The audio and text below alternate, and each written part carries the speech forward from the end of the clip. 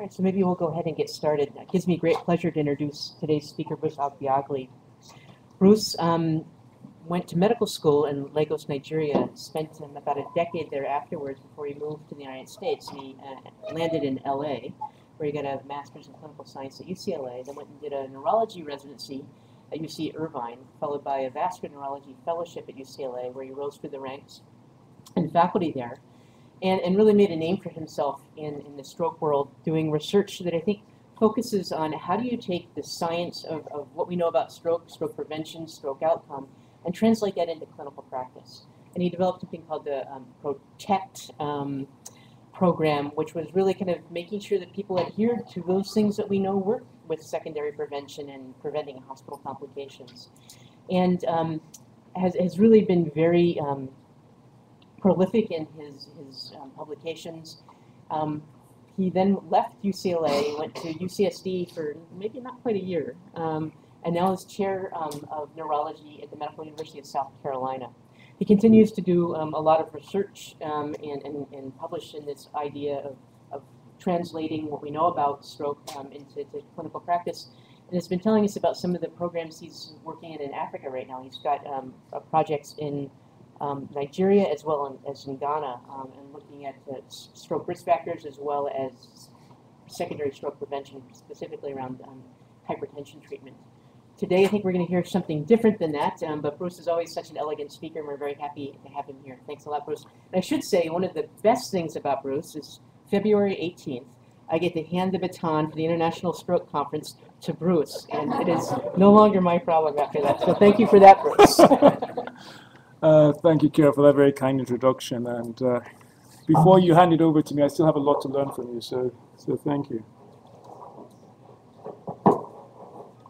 Thank you. So, good afternoon. Thanks so much for having me here. It's a privilege and a pleasure to talk to you about uh, chronic kidney disease. Um, so over the course of the next 45 minutes or thereabouts, we'll be talking about the relationship between chronic kidney disease and stroke, uh, we'll start off by asking ourselves why we're even looking at this to begin with. Uh, we'll talk about some of the indices of chronic kidney disease and how they relate to stroke. We'll talk about biomarkers of kidney disease and how they relate to subclinical brain injury. Why subclinical brain injury? Well, it's thought that if there is indeed a relationship between the kidney and the brain, that it's probably small vessel disease that's the common um, um, entity that connects both of them. So we'll take a look at subclinical brain injury, take a look at some of the mechanisms at play, and then we'll take a look at what the effect of having CKD is on outcomes after you experience a stroke. Um, and then conclusions. I, I got an interest in this a few years ago when I would be on the stroke consult service and each time they'll do um, just an incidental MRI because uh, a CKD patient um, is altered or uh, in some way, and they would find that the patient had microbleeds. This happens so often that I developed an interest in this, and that's where this, this actually came from, came from for me. So, so the first thing, why look at this? Well, the reason why is that even though we have lots of traditional risk factors for stroke that have been identified, we still know that there are lots of people who experience a stroke for whom don't have traditional risk factors. So these data that were published in JAMA a little while ago looked at about half a million subjects in various cardiovascular and stroke studies and found that while many of them had those traditional risk factors of hypertension, diabetes, and smoking, up to 20% of these patients did not have any of those conventional risk factors. So yet they had these um, vascular events, but did not have the traditional risk factors that we're all well familiar with.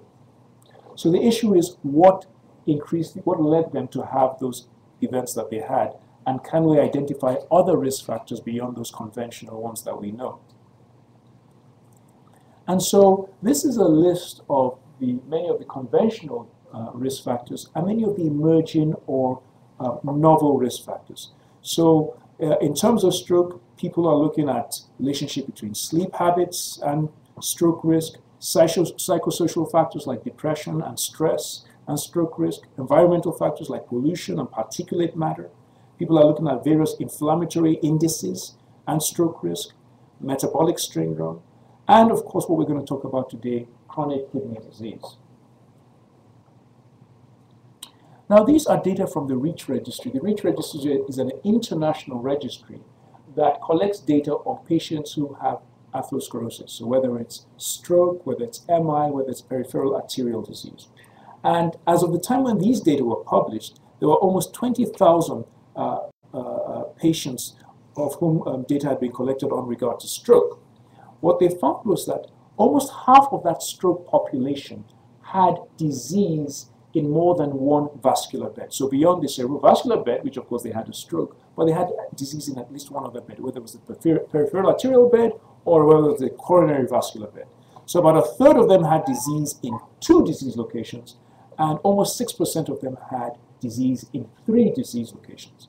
But the question was, or the question is, what about the renal vascular bed? We don't tend to look at that as often as potentially we should. And so this was, um, these um, so to speak, that you see on the last three bullets came from a special edition of The Lancet that was published five years ago, dedicated the, to the relationship between kidney disease and cardiovascular disease. So what do we know? So we know that most CKD patients don't die from progression of their CKD, rather they die from a cardiovascular cause, including stroke. So most of the time they die from cardiovascular causes. But what this, the many of the editorials in this Lancet issue seem to point to was because the kidney is somewhat silent, somewhat asymptomatic, so to speak, many of us tend to overlook its importance. And potentially, lots of opportunities are being lost in terms of discriminating patients who have CKD and potentially treating them such that they might not go ahead and die from cardiovascular causes, which really is the number one cause of death in these patients. Even before that special edition of the Lancet came out, the American Heart Association, American Stroke Association issued an advisory almost 10 years ago, again recognizing this potential relationship between CKD and, um, and vascular risk. And so they recommended that if you do see a patient with vascular disease, evaluate them for presence of CKD. And if indeed they do have presence of CKD, repeat the test again in three months and treat them accordingly. If they don't have CKD, then repeat that test every year. So this advisory came out 10 years ago. Most providers that I know don't routinely do this. And so when you do see that stroke patient, do you specifically take note as to whether they have CKD? Do you make sure that they're tested again three months after you see them? And if you indeed you see them on a yearly basis, do you make sure that that test is repeated annually? So anecdotally, I know that many of my, I, I wasn't doing this before, and many of my colleagues don't necessarily do this. So let's talk about CKD itself. Again, this might be very basic for some of you, I apologize, but this is just an overview, just to give you a little bit of background to the issue of CKD and its definition and types. And so essentially, of course, it represents a structural functional abnormality in the kidneys. Has to be present for three months to get the definition of being a chronic issue, and generally manifests as either albuminuria, I'm sorry, albuminuria or low glomerular filtration rate. A few things to talk about when it comes to albuminuria and low GFR. So of course, it's, it's increased permeability of the albumin in the glomerulus. You have macroalbuminuria and you have microalbuminuria. It's very clear that macroalbuminuria is related to uh, cardiovascular disease. What has become of much more interest to many people is that even microalbuminuria, that's um, where you have this increased urine albumin excretion that is above normal limits but still can't be detected by a regular urine dipstick, that is also related to um, uh, risk, and we'll see some of that later when we discuss it. But when you look at the methods for testing microalbuminuria, the best method, the easiest method, the least cumbersome method is to do a spot urine test looking at urine albumin creatinine ratio. So that's what we tend to do when we're trying to assess microalbuminuria. For GFR, the most common way of assessing this is the MDR equation. There's a more recent equation that was introduced about five years ago called the CKD EPI equation. It's supposed to be more accurate than this MDRD equation because it actually is better for discriminating CKD in elderly patients. But what's so, so wonderful to use is that it requires just demographic data and your serum creatinine level. And so many times, I'm sure when you order reports, even on your basic metabolic panel, it spits out what the person's uh, GFR rate is. So many times you have that information at your disposal. What do you do with it? So more recently, hot off the press, this was published in one of the Lancet subspecialty journals just a couple of days ago, was a meta-analysis of over 600,000 patients. This was a meta-analysis at the individual level, so it actually analyzes at the individual level. What's the upshot of this particular study? Well, it showed that low GFR and microalbuminuria actually improved discrimination of cardiovascular risk beyond just traditional risk factors. So they added value in terms of pointing out those people at very high risk for cardiovascular disease in the general populations. And when you actually combine them, not looking at them individually, combine them together, they actually outperformed any of our single traditional predictors, whether it was hypertension, whether it was cholesterol, whether it was diabetes. And so, again, lots of data point to the fact that these two biomarkers, either individually or collectively, could really help us to discriminate risk in patients at high risk for having vascular events, including stroke. So we'll take a look at those biomarkers and what their relationship is to stroke specifically. So we did this study a few years ago. It was a meta-analysis of all the stroke studies looking at the relationship between GFR and incident stroke risk. And by incident stroke risk, I mean a first-time stroke. So these are this is the general population. They've never experienced a cardiovascular event before, and it's looking at the relationship between baseline GFR level and the relationship of having a first-time stroke. And as you can see here, when you looked at a GFR of 60 to 90, and its relationship, and having that at baseline and having an incident stroke, it really didn't confer um, additional risk. So um, a negligible or null value of uh, three three um, uh, of of of of, uh, three percent, and so really not a, a, a doesn't confer significant um, uh, risk of experiencing a stroke if you have a baseline GFR value between 60 to 90. Having said that, if your GFR drops below 60, then it's a little bit of a different story. And you see here you have an 18% higher risk of experiencing a first-time stroke, and this is significant, if indeed your GFR is lower than 60. So above 60, 60 to 90, no, but lower than 60, you definitely had higher risk for experiencing a first-time stroke. And see, this looked at a whole host of prospective cohort studies um, to come up with this quantitative and qualitative estimate. More information about that particular meta-analysis, the relationship between low GFR and incident stroke was consistent across different populations. The lower the GFR, so we said below 60, then you have increased risk of stroke. But when you went to, when you looked at GFR between 40 to 60, then it was 28% higher risk. When it was, when you looked at GFR less than 40, then it was 77% higher risk of experiencing stroke. So there seemed to be this dose-dependent response. The lower the GFR, the much more likely a person was to experience a stroke, first-time stroke. And very interestingly, um, there seemed to be this difference by race in terms of Asian individuals especially seem to have this very strong relationship between low GFR and having a higher risk of future stroke. As you can see, almost twice, almost double the risk of having a stroke if they had a low GFR. There's another entity that's in, uh, beginning to um, uh, gain attention, and that's the entity called serum cystatin C. It's, um, it's a peptide of low, low molecular weight. Um, it, when, the, um, when there's declining kidney function, then cystatin levels begin to rise. And it's been shown to be a much more precise test of kidney function than looking at serum creatinine levels. And so people are beginning to use that. It's not pervasive, but um, it's increasingly being used because it's, it's supposed to be more precise than looking at creatinine levels.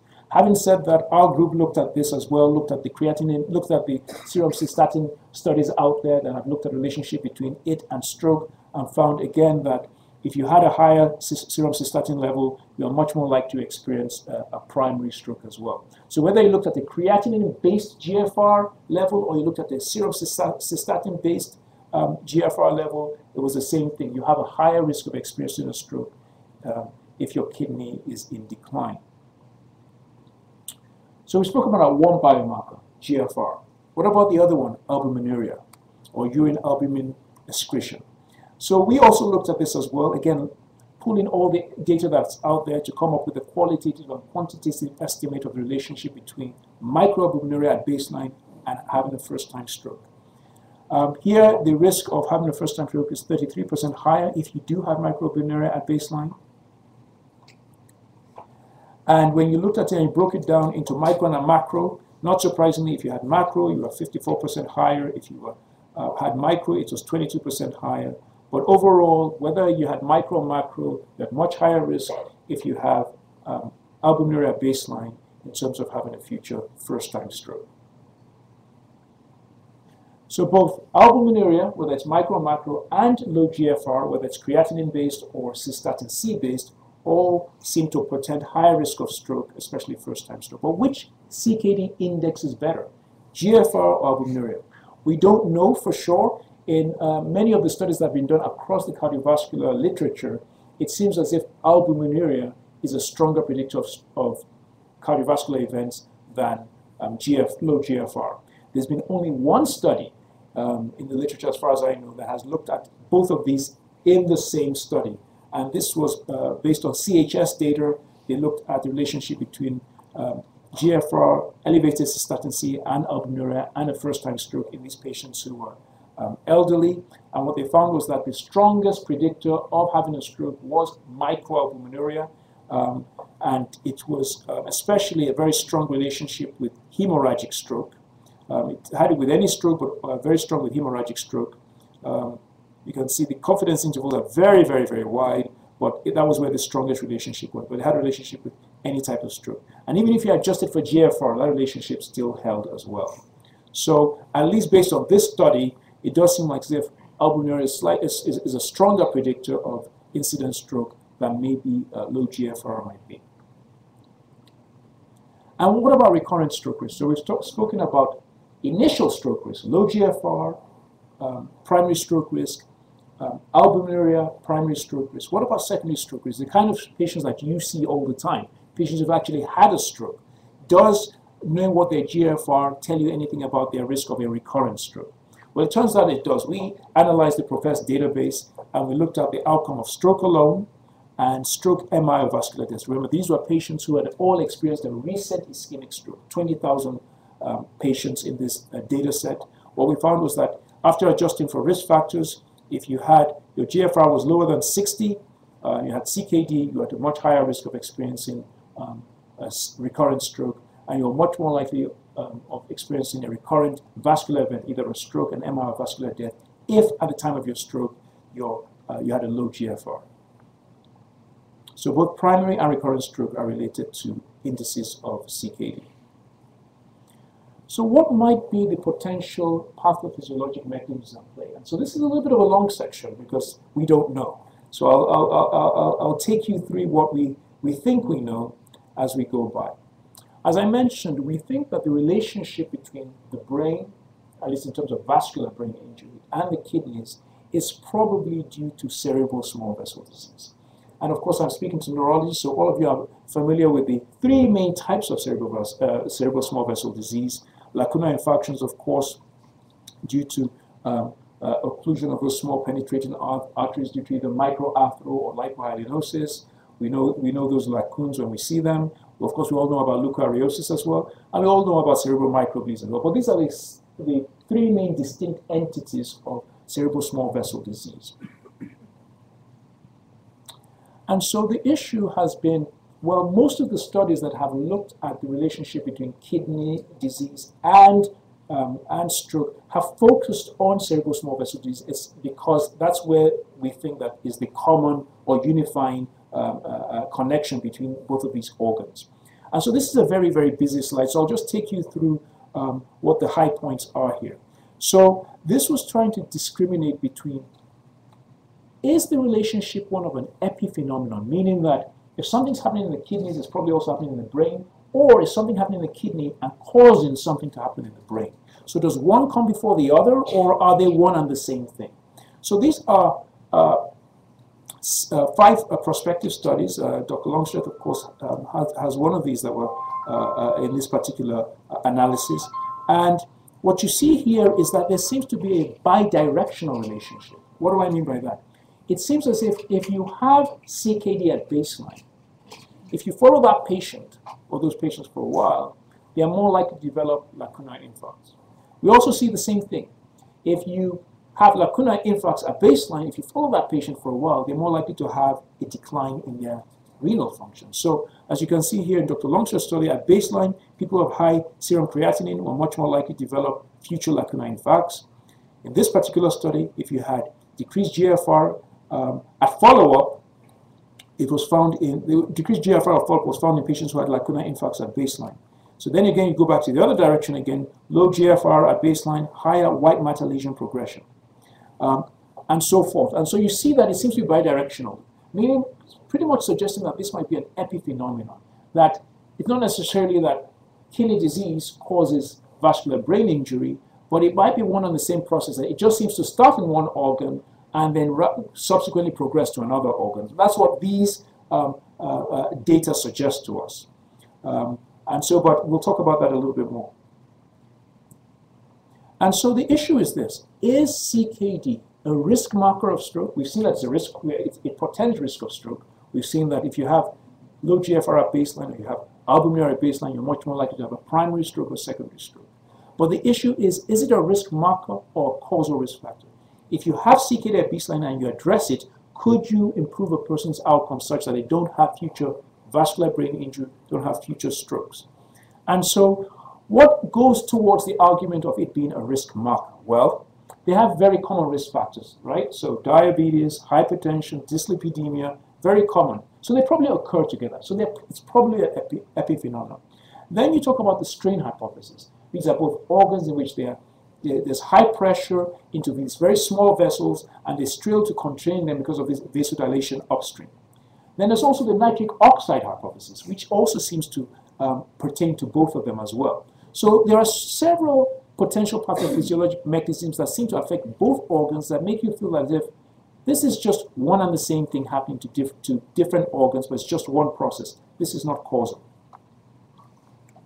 The other thing is that the pathology is very, is very much the same. You have leaking proteins, whether you have leaking proteins such that they leak into the urine, or whether you have leaking proteins where they leak into the brain extracellular space, it looks very much the same in terms of pathology. So again, it suggests that perhaps this might be an epiphenomenon, two things happening in different organs, uh, uh, one thing happening in different organs, potentially at different times or at the same time, but it's just one process affecting both.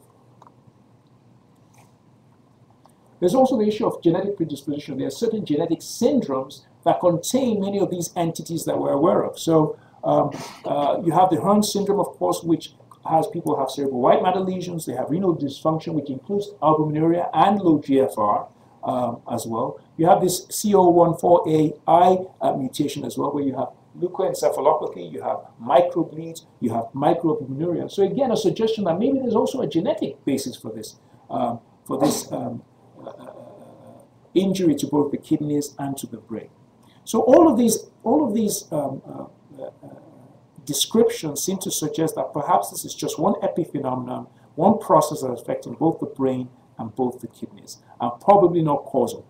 Probably suggesting that the best what we could do is if we see a patient has CKD, be very aggressive in teaching those patients because they're high risk for stroke, but don't expect that necessarily you might do anything to um, specifically to try and prevent them from having another stroke. Now, what argues in favor of a causal relationship?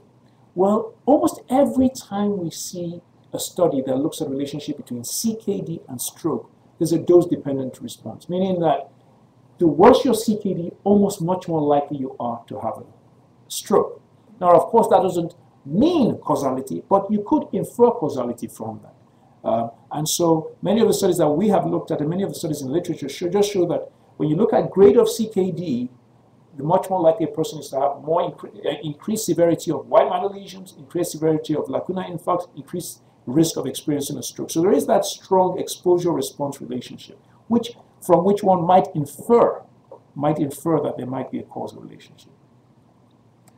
Um, we also saw that in the PROFESS study I spoke about. These are patients who experienced a recent ischemic stroke, and we looked at uh, uh, the impact of low GFR on future uh, recurrent vascular events. The more severe your chronic disease was, the more likely you were to have experienced an ischemic stroke. So if you were in CKD stage 1, the mildest stage, 7.7% risk. If you were in 4 and 5, 14% risk. And you see it rises with time. Same thing for vascular events as well. So again, this exposure-response relationship from which we might infer perhaps that there might be some kind of causal uh, relationship. We also looked at mortality after a stroke. Similar pattern yet again. The more severe your CKD was, the much more likely you were to die um, from all causes after you experienced a stroke. Going from 2.74 to 3.37 to 8.19. So this is what the hypothesis is, if indeed there is a causal relationship between the kidneys and vascular brain injury. It's thought that there's initial damage to the kidneys, and that activates the renin-angiotensin system. That in turn then stimulates NADPH oxidase, and then this upregulation of lots of inflammatory mediators. And of course, there's also scavenging of nitric oxide. So all of that then leads to this very diffuse or generalized systemic dysfunction, which also affects the cerebrovascular bed. So it's all thought to start from the kidneys with that initial damage to the renal endothelium, and then stimulation of the um, renin-angiotensin system, and then you have this release of all these uh, uh, deleterious um, inflammatory mediators, which end up affecting the cerebrovascular bed. So that's the theory, of, that's the uh, hypothesis for a potential causal relationship. The other thing that is also being thought about is if indeed there's a causal relationship, how do we address it? And so one question is, could there be a role for renin-angiotensin system modulators? So things like ACE inhibitors, things like angiotensin receptor blockers. And so two things seem to support there being a potential role for at least renin-angiotensin system blockers. Number one is that we know we, we know that renin-angiotensin system modulators protect the kidneys. So we know that if somebody has uh, albuminuria, the nephrologists tend to put them on a renin-angiotensin modulator to try and decrease the progression of that albuminuria. Could we potentially have the same thing in the brain? If potentially somebody has is at risk, potentially has vascular brain injury, lacunar infarct, or leukoencephalopathy, um, could we potentially put them on a renin-angiotensin modulator and prevent the progression of that disease? So that's one. So it works in the kidneys. Could that potentially work in the brain as well? The other thing, as I mentioned, is this strain hypothesis, this hyperfusion pressure. We know selective agents are very good at reducing this um, central, uh, cerebral pulse pressure, calcium channel blockers, and renin-angiotensin system modulators. Again, could we potentially have these targeted agents um, aimed at trying to improve outcomes in patients who we know um, already have kidney disease? So that's the question, whether, especially for RAS modulators, could they have a role, whether it's from what we've seen them do in terms of preventing progression of kidney disease or what they could do in terms of reducing cerebral pulse pressure. So we try to look at that in that same Profess database of 20,000 patients who had experienced a recent ischemic stroke. In that particular study, patients were also randomized to telmisartan, an angiotensin receptor blocker, and placebo, and we were followed, of course, to see um, the effect on uh, recurrent vascular events. What we did was to tease out those patients who had low GFR. So cohort of patients who had low GFR and experienced a recent ischemic stroke. And we took a look to see if those who received add-on versus placebo and had low GFR and had a recent ischemic stroke, whether they actually benefited. It turns out they didn't. And so, as you can see here, when you adjust, it's 1.08 here, 0.99, uh, confidence intervals across are not significant at all. So no advantage in terms of this angiotensin receptor blocker um, in these patients who had experienced a recent ischemic stroke and had low GFR. Now we think there was no effect because we think in this Profess study, they took in large vessel patients, small vessel patients. We think you have to actually look at a specific subtype, especially small vessel disease subtype, if you're going to have an effect of um, an agent like this. The other thing, of course, is maybe the agent itself wasn't strong enough, maybe the dose wasn't potent enough, but suffice enough to say in this observational study, we didn't see any um, benefit of an ARB in these patients who had low GFR and experienced a stroke. What was more promising was when we did an analysis of a database of patients who had experienced ICH and also had microbleeds. We looked to see if those who had were on a RAS modulator, renin-angiotensin system modulator, were less or more likely to have um, microbleeds if they had CKD. And what we found was a strong trend such that patients who had CKD and were on a RAS modulator were less likely, less likely uh, to have cerebral microbleeds than patients who had CKD and were not on a RAS modulator. So that was a strong trend, and it's something where uh, we want to investigate further to see if perhaps there might be an effect um, of these uh, RAS modulators in terms of microbleeds. And so I'll just talk about a study that we are developing, and it's looking at this particular agent. It's called aliskiren. That's also known as Tekturna. And it's a direct renin inhibitor, so it's a separate class from ACE inhibitors and angiotensin receptor blockers. And um, uh, it's, it's, it's, it disrupts the renin angiotensin system, of course, at a much earlier stage. And so is used many times as add-on therapy on top of ACE inhibitors or angiotensin receptor blockers. Um, as proof of concept, um, this paper was published in the New England Journals some years ago, looking at patients who had um, albuminuria, randomized them to aliskiren, this agent, versus placebo. All the patients received an angiotensin receptor blocker. So the, uh, the aliskiren was just add-on therapy, but everybody was on a, uh, uh, uh, an angiotensin receptor blocker. These are patients who had diabetes and um, also had albuminuria. As you can see, there was no difference in terms of blood pressure, whether you looked at systolic blood pressure or diastolic blood pressure. Remember, everybody got the same agent, but the only difference was that one group got this um, the other group got placebo. But yet, even though, you know, there was a difference in terms of this add-on therapy, there was no difference in terms of blood pressure. But there was a difference in terms of progression in terms of microalbuminuria, a 20% difference. So no difference in blood pressure, but a difference in terms of progression of microalbuminuria. So this presumably might have been due to a different effect, not a blood pressure effect. Remember, there was no difference in blood pressure, but there was a difference, an advantage for those patients who had the aliskiren on top of the ARB as opposed to those patients who just have placebo um, on top of the ARB. So the additional 20% reduction in the progression of albuminuria. Could we see the same thing with stroke patients in terms of vascular brain injury? So would add-on aliskiren potentially reduce progression of vascular brain injury in patients who are on who who uh, have some evidence of CKD and are more likely to progress with CKD and maybe even vascular brain injury. And so we are designing this study, it's called Mr. Hemostat, and it's looking at randomizing patients who have cerebral microbleeds at baseline to aliskiren versus placebo, um, and to see what the effect in terms of formation of new microbleeds one year after uh, randomization would be. So the expectation is that by being randomized to aliskiren, there will be a reduction in the formation of new microbleeds. All of these patients at baseline would have some form of compromised kidney function, whether it's in terms of albuminuria or low GFR, but they, and they also have to have microbleeds, and then we'll randomize them to aliskiren versus placebo and see if there's an effect in these patients. What we're hoping, or the theory is that these are patients who um, already have initial renal and endothelial damage, probably have some activation of the renin angiotensin system like we saw. By putting them on aliskiren, we potentially can curb that a little bit and potentially uh, reduce the, the upregulation of all those inflammatory uh, uh, markers that you saw that might cause uh, uh, more microbleeds from forming. So we're in discussions with Novartis who makes this medication and we'll see, we'll see how that goes. But it will be the first time that anybody's looked at this in this, in this type of way. And then finally, the last section will look at um, the relationship between CKD and post-stroke outcomes. So um, what's the relationship between CKD and outcome for that stroke patient that you see in the hospital? So one of the challenges with CKD has always been, well, on one hand, we know that chronic kidney disease is associated with thrombus formation. CKD patients are at high risk for having ischemic events. Very, very clear, especially when their CKD stage is 3 to 5.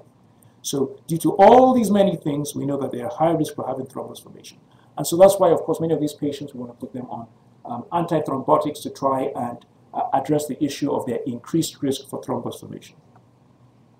On the other hand, we also know that CKD is associated with higher bleeding risk. And so, because of all these factors as well. And so that's why there's also a little bit of reluctance in many situations as to how aggressive are you with the antithrombotic agent in patients who have CKD? At what stage do you try and balance the issue of ischemia versus the issue of bleeding risk? And so that is also another issue that uh, uh, has to be addressed in these patients. So first of all, what we wanted to do was to analyze the Get With The Guidelines database. Get With Guidelines database is a quality improvement registry. Um, they collect data on patients who are hospitalized for stroke around the country, And so we interrogated the database to get some answers as to what are the outcomes for stroke patients who are hospitalized and have evidence of CKD, in this case as defined by low GFR. And so we looked at ischemic stroke and hemorrhagic stroke. We looked to see what the issue was in terms of what their outcomes were and what the processes in terms of their care was. So on this very first slide, we looked at care performance. How well was care delivered to patients who were hospitalized with an ischemic stroke if they had CKD versus if they did not have CKD? And we looked at all these very important benchmarks for um, of quality stroke care in the hospital.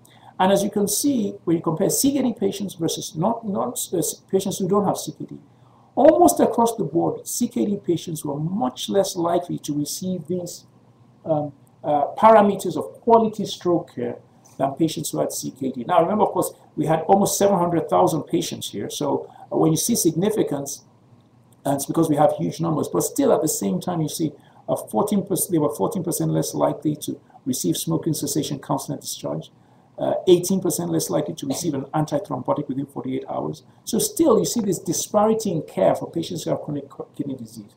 Now, because we were looking at the registry, it's hard for us to see exactly what was going on. Why were these CKD patients, for reasons that were not clear to us, and without any clear contraindications, receiving all these um, uh, uh, parameters of quality stroke care at a less frequent rate than people that did not have CKD. And yet they were receiving at a less frequent rate, but their outcomes were worse. So if you look at in-hospital mortality and look at GFR less than 60, for these recent ischemic stroke patients hospitalized and if they had CKD, were 44, they were uh, 40%, 44% higher odds of dying in the hospital compared to patients who did not have CKD. And if again you see that dose-dependent response, mild dysfunction 0.99, but as you go, as the CKD gets worse, much more likely to die in the hospital. So poorer outcomes, but also poorer care. Are they related? Is that a, is there a causal relationship between the two? Not clear, but um, poorer outcomes and poorer uh, poorer processes and poorer outcomes. We also looked at hemorrhagic stroke patients. Um, the uh, parameters of quality care are a little bit different. We just looked at two. We looked at DVT prophylaxis in these patients, and we looked at smoking cessation counseling in these patients. And there was no difference in terms of smoking cessation counseling. It was right, right at one. But um, these patients who uh, had CKD and experienced a stroke were 12% less likely to have DVT prophylaxis than patients who did not have CKD. Again, not clear why that was. And DVT prophylaxis was not just giving subcutaneous heparin, it was also, you could also be having TED stockings as well. But for whatever reason, these patients were not getting that um, uh, at the same rate as people who did not have CKD.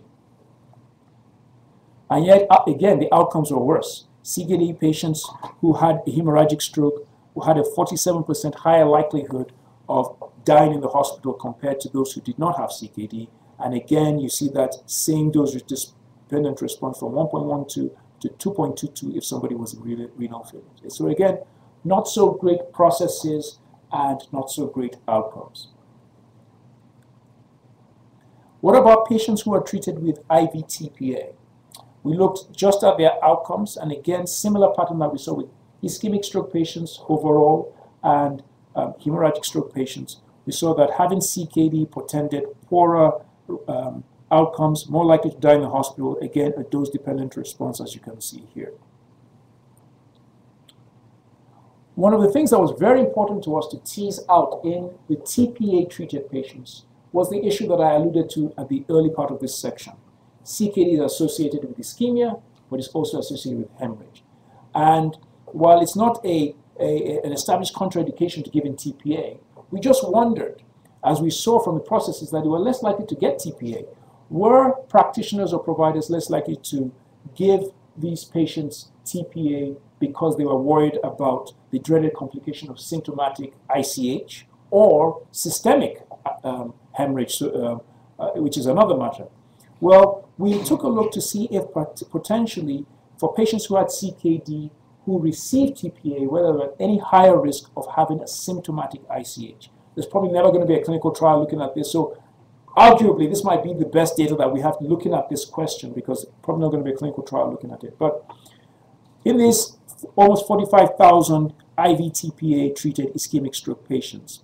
When you looked at presence of CKD versus not, there was no difference. No difference in terms of there was no higher risk of experiencing a symptomatic intracerebral hemorrhage after TPA uh, for treatment of ischemic stroke if you had CKD. So essentially no reason to exclude a patient who is otherwise eligible for IV TPA on the basis of them having CKD. And again, if you look at um, the various stages, you actually do not see that any one stage seems to portend higher risk. Even for those people in renal failure, if anything, it went in the other direction.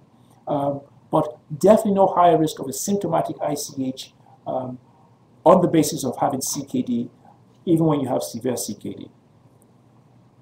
And then we looked at severe systemic hemorrhage as well.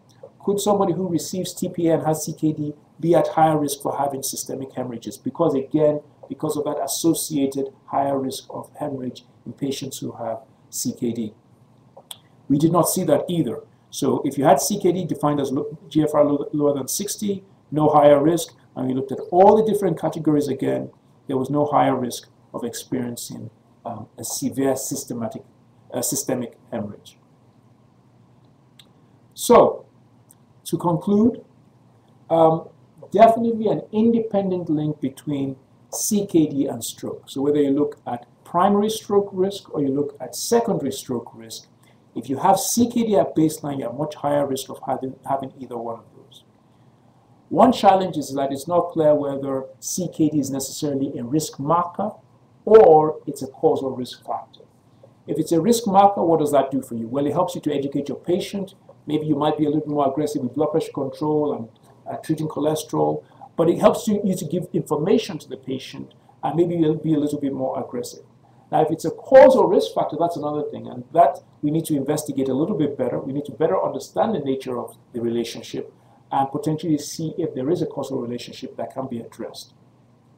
What I think is that based on the data out there that uh, we should be trying to aim for patients with very early CKD, when they just have that initial renal endothelial damage, we should try and look at patients who probably just have only microalbuminuria, um, and then try and use uh, surrogate markers of stroke, surrogate markers of vascular brain injury, like cerebral microbleeds, like we're doing in the Mr. Hemostat study.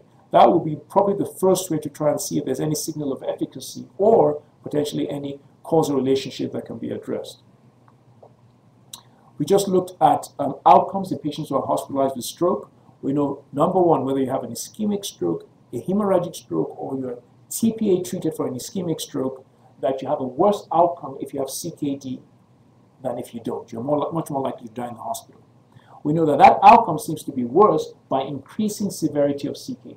If you're in CKD stages 4 and 5, much more likely to die in the hospital after a stroke, whether ischemic or hemorrhagic, as opposed to uh, if you don't have CKD. And then finally, if you are TPA treated for an ischemic stroke, there should be no reason to withhold, if, if you are considering TPA treatment for an ischemic stroke, there should be no reason to withhold TPA treatment on the basis of somebody having CKD because there doesn't seem to be a higher rate of symptomatic intracerebral hemorrhage or severe systemic hemorrhage if compared to those patients who do not have CKD.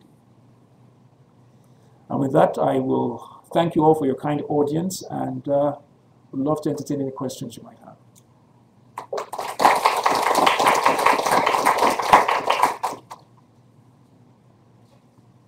So, uh, very nice talk, Bruce. Uh, and uh, it would, I, I, have two questions. One is, uh, have any of these studies tried to look at the duration of, uh, of kidney illness? In other words, rather than looking just at a point in time severity, how about seeing if there's a difference between people that have had two years of kidney difficulty, chronic kidney disease, versus people that have had 20 years? Uh, that's number one, if you can keep that in your mind. The other one is, um, this seems to me something that's never going to be easy to get at in patients. They're too complicated. How about an animal model? Surely you could replicate some of the features of uh, chronic kidney disturbance in an animal, uh, independent of everything else, and see whether that accelerates the, maybe not strokes necessarily, but uh, cerebral atherosclerosis. No, I agree. Very important questions, difficult to, to, to respond adequately to them. So the first one, I, I know for a fact that there are they don't tend to look at duration of CKD. You're absolutely right. They look only at severity, and it's in one time point, uh, and that's an issue. I think uh, there have been prospective studies, but they haven't necessarily looked at the duration, and it'd be interesting to see if perhaps duration. Um, and, and duration, of course, is somewhat mitigated by how you're treated. So some people are, of course, um, the, the progression of their CKD is mitigated by different medications, while other people do not. So that will have to be teased out, but I'm unaware of any studies that have looked at that. An animal model would be great. I think that would be the perfect way of looking at this. Um, I don't know if at this point there's sufficient interest. Perhaps if I could get a collaborator of some kind to look at that, but that would be something I think would be very, very helpful. Because I think, as you said, I think the clinic, so to speak, is too, is too messy. There are too many things going on for one to be able to discriminate properly the underlying pathophysiology. So I, I agree with you completely.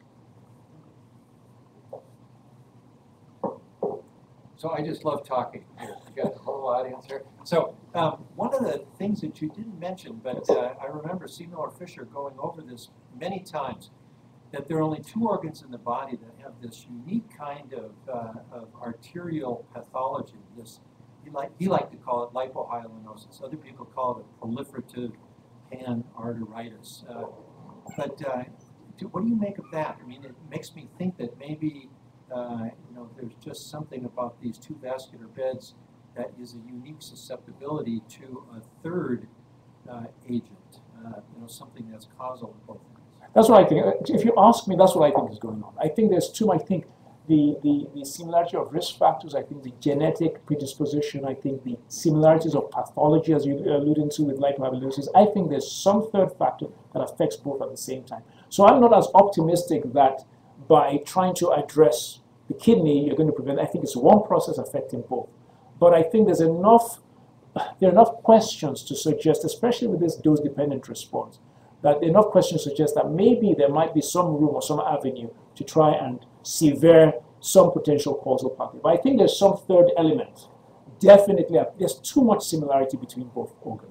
Even more so than the heart. We've just done analysis of a South Carolina database, and the, when you track the disparities in, um, in racially in terms of outcomes between stroke and heart disease and stroke and kidneys, kidney disease, stroke and kidney disease are pretty much exactly the same. Stroke and heart disease is not the same. So it's, there's something going. I think there's similarities there. There's a common element affecting both. Not sure what it is.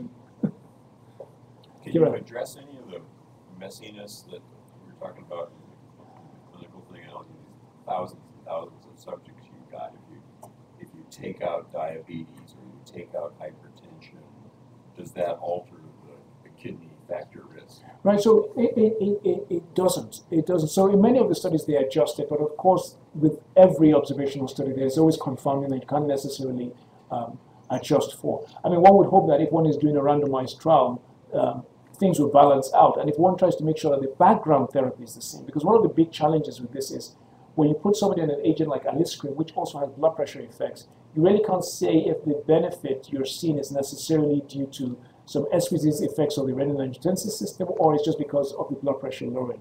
And so it's hard to tease out, and that's where the point about um, uh, uh, some kind of bench work looking at this might be much, much cleaner, I think, to do. Kira. Studies have also shown that retinal um, arterial disease is a good marker. So I was just wondering how CKD versus retinal arterial ah. disease measure up to each other as predictors. That's, that's, that's a great, I don't know the answer to that. I know that at the ISC a couple of years ago, the Rotterdam group did one study just looking at the relationship between um, all three. So they looked at, you know, of course, they've done a lot looking at vascular brain injury, looking at um, uh, uh, retinal artery disease, um, uh, and kidney disease. But in terms of how they stack up, I'm I'm not sure I saw it published as a paper yet. I could be mistaken, but they're the only group I know that looked at that in any way that I think was robust. There might be questions on the. Oh, right, okay.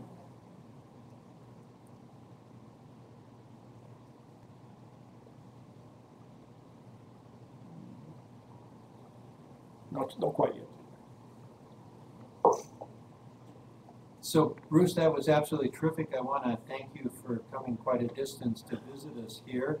And uh, Kira thanked you for taking over her position as chair, future chair of the International Stroke Association. And I want to thank you for the same reason, but with a little different uh, something in mind. Now she can do two extra clinics. happy, happy to oblige. Thank you.